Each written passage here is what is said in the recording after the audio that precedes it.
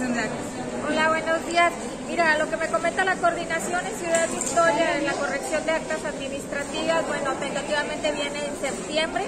Eh, van a empezar pues ahora en, la zona norte, ya ahorita estaban terminando allá Tampico y venían para acá, para la zona norte. Van a estar en Reynosa, la y aquí en Matamoros.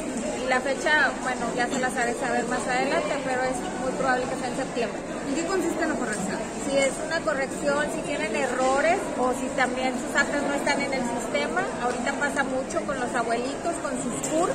En eso también les podemos ayudar.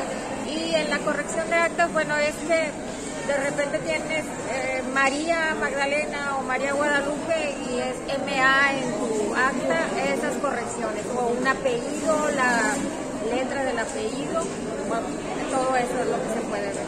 ¿Habrá algún tipo de campaña o la gente puede acercarse al registro civil o cómo va a funcionar? Sí, bueno, lo daremos a conocer, ¿verdad?, dónde estarán ubicadas, vendrá toda la, coordinación de Ciudad Victoria Jurídico, pero por, lo, por el momento pues pueden acercarse a las oficialías a preguntar y con gusto ahí los estamos esperando, ¿verdad? Yo estoy en la oficialía 4, en la calle Ocampo, ahí les podemos dar información y apoyarlos. A veces es cuestión de checar, de cotejar cómo está su libro y mediante un oficio, un correo lo podemos ayudar. Que la gente vaya juntando la documentación. También, cuando cuando ya sea necesaria una corrección administrativa, pues ocuparemos documentos donde tenga el nombre que ella requiere, ya sea INE, licencia, pasaporte y, el, su, su en el tema de las solicitudes para matrimonios del mismo sexo, ¿a cuántas están registrando aquí en Matamoros? Fíjate que hemos tenido pocas. en la oficialía en este mes hemos tenido dos. Nada más. Sí. Pero nacimiento bastantitos. Al mes, al mes manejamos de 200 a 230 este, nacimientos tan solo en mi oficialía. Nos vamos a esperar las cifras de las demás oficialías. Tenemos buena población. Eh, en cuanto a los matrimonios, ¿qué va a matrimonios o divorcios? Matrimonios. Los matrimonios van arriba y los divorcios van a la mitad. ¿Y cuántos matrimonios más o menos se reflejan? En, el mes, ahí en mi oficialía, estamos hablando de 45 a 50 matrimonios.